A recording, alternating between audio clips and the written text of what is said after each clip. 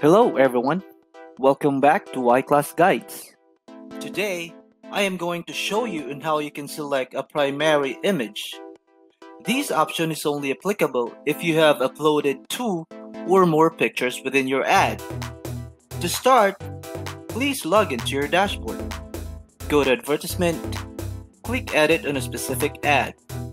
Scroll down to your media and click primary image on the specific picture you want to use as the primary image.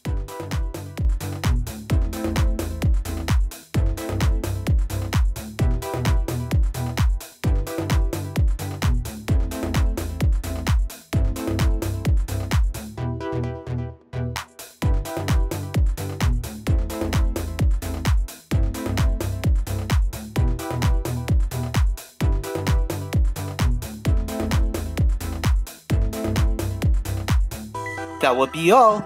Please feel free to open a ticket to us. See you!